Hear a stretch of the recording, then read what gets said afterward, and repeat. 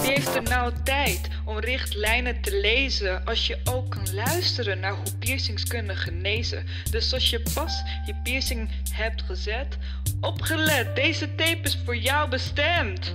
Raak je piercing niet aan met je vingers, wel met washand of spons. Nee, nee, nee, nee, dit zijn verzamelplaatsen voor bacteriën en schimmels.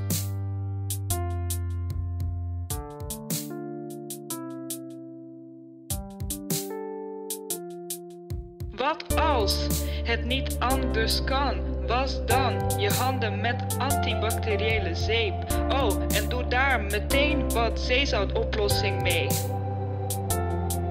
Dat is het beste wat je kan gebruiken om je piercing schoon te maken. Onthoud, probeer hem verder nooit aan te raken. Reinigen twee keer per dag in de eerste fase. Dep de piercing droog met schone tissues, handdoeken of wattenstaafjes.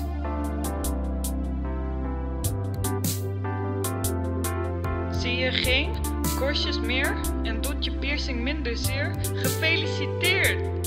Je zit in de tweede fase. Dat houdt in dat je maar één keer per dag hoeft schoon te maken. Niet meer en niet minder. Te veel schoonmaken kan de piercing juist irriteren.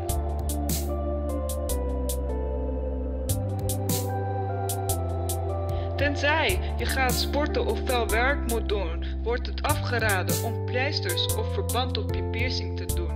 Laatste tip: houd je piercing droog. And that's it.